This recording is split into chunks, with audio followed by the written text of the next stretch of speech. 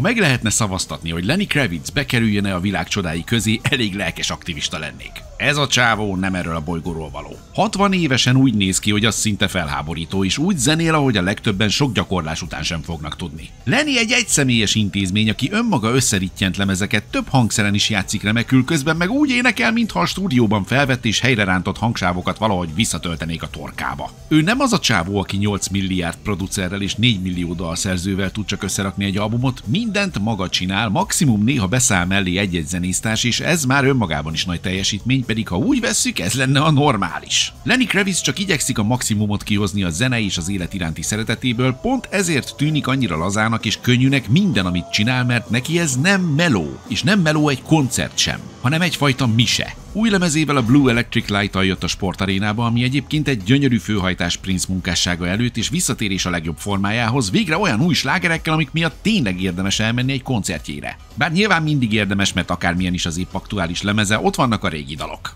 Amúgy is az emberek 99%-a az Are You Gonna Go akarja hallani, és nagy meglepetésre meg is kapja mindenki az arcába a koncertkezdő dalként, legyünk túl rajta gyorsan, aztán lehet kifáradni a büfékhez. De nem! Lenny Kravitz baromi jó közönséget kapott Budapesten, mindenki imádta, bármit is csinált. Mondjuk azért tegyük hozzá, nem a B oldal gyűjteményével jött, hanem a slágereivel, legalábbis többnyire, amiket javarészt változtatás nélkül nyomott le, nagyjából takra olyan hangzással, mint a lemezeken, de csak javarészt, és itt kezd el érdekes lenni a dolog. Mert hát ez itt nem a Lenny Kravitz One Man Show. Ez Lenny Kravitz bandájának a koncertje, ahol mindenkinek szerepe van és ahol senki sincs a háttérbe szorítva. Pont ugyanannyira fontos eleme a daloknak a zseniális gitáros Craig Ross vagy a dobok mögött ülő Jazz Caser, de a billentyűs George Lex is kap egy szólót és amikor kell, akkor letérnek a gondosan kikövezett sávról, és jöhet egy szaxofon szóló, egy kis jazz, egy kis közös gitározgatás, mert ha már ennyi zseniális zenész került egy színpadra, akkor ne csak kiszolgáló személyzetként funkcionáljanak már. Nyilván Kravitz a fő attrakció, aki szokás szerint elképesztően néz ki és elképesztően énekel, ha néha nem szólna be egy-egy plusz szót a mikrofonba, nem hinném el, hogy nem playback a buli, de nem az, ez itt bizony többnyire teljesen élő, és nem csak szimplán élő, hanem tűpontos, és annyi dög van benne, hogy az arénába is alig fér be.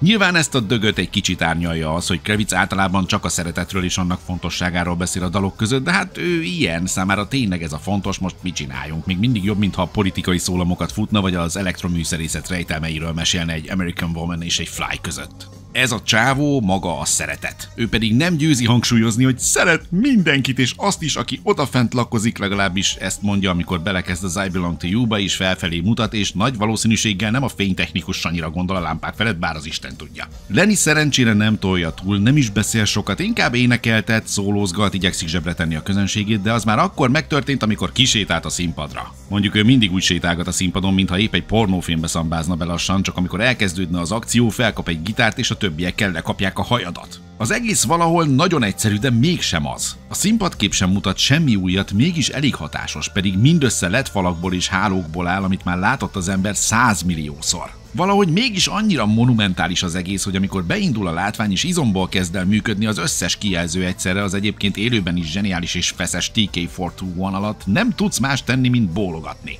Aztán úgy maradsz, mert onnantól már csak a best of jön, plusz olyan dalok, mint a Minister of Rock and Roll, az I'm a Believer, vagy az első lemezről a Fear, amiket nem nagyon szokott játszani, de ezen a turnén érdemesnek látta elővenni őket. Meg persze az új lemez klipes dalait is, amik mind marha jól működnek, a TK421, a Paralyzed és a Human nem hogy kilógnak a klasszikusok közül, de gyönyörűen beillenek közéjük, utóbbit nem is nagyon kellene elengedni a későbbi turnék során sem. Ritka az olyan koncert, ami nem rövid, mégis hallgatnád tovább. Lenny nagyjából két órát játszott, de egy jó fél óra még lehetett volna ebben a buliban, akadtak volna még slágerek, amik befértek volna, de hát ne legyünk tehetetlenek. Lenny így is kitette a szívét és a felsőtestét is, amikor megérkezett az utolsó dalokra a kötelező hálós pólója, amiről korábban még egy nézőnek azt mondta, hogy nem hordhatja minden nap, és ezt megmondta a lányának Zoénak is. És tessék, meg is hordhatja. A koncertet záró Let Love Rule alatt aztán a hálós póló is viselője önálló turnéra indult a közönségben, annyira, hogy Lenny be is járta a kiemelt állószektort teljes egészében, megállt a középső elválasztó kordonnál, hogy egy kicsit David Gettát játszon kitárt karokkal, majd a tömegben visszasaszézott a színpadra. Ettől mondjuk a Let Love Rule nagyjából rétes tészta hosszúságúra nyúlt, de a francot se érdekelt, amikor elindult a Lenny Kravitz simogató, és úgy járta be az arénát, mintha ez lenne a világ legtermészetesebb dolga. És ez volt jó ebben a koncertben, hogy olyan természetesen műveltek egészen nagy dolgokat ezek a fiúk és lányok a színpadon, hogy egy picit tényleg elített, hogy a világ egy jobb hely. És hogy tényleg csak a szeretet számít, meg a hálós póló.